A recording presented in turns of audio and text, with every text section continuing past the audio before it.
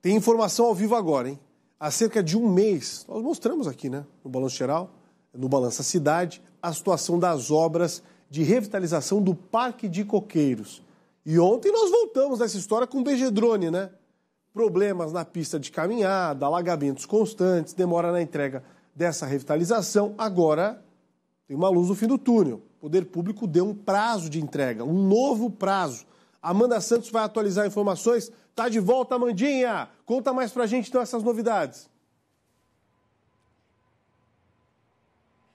Tô de volta, Polito. Saudade de você e dos telespectadores, viu? Olha, o prazo se mantém, ainda é setembro. Agora, como que ele vai conseguir cumprir esse prazo é que são elas, viu? Vocês podem perceber que já tem alguma coisa aqui.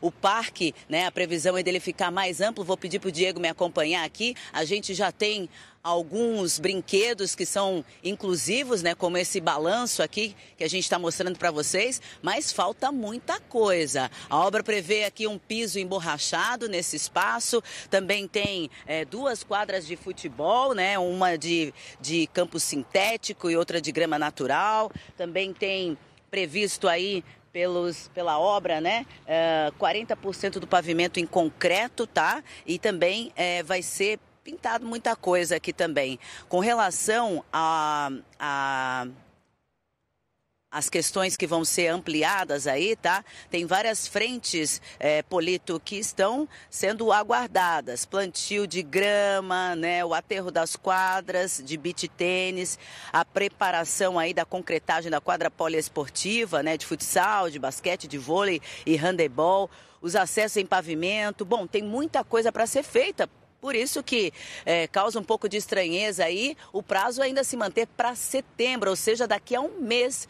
Com certeza o Balança Cidade vai estar aqui presente para estar tá acompanhando essa obra, uma obra muito esperada, né, para o Parque de Coqueiros. Afinal de contas, né, é um ponto turístico aqui para familiares e tudo mais, né? E ó, são mais de 4 milhões de reais previstos para essa obra, num espaço aí que todo mundo conhece, é grande aqui na área continental, são mais de 35 mil metros quadrados.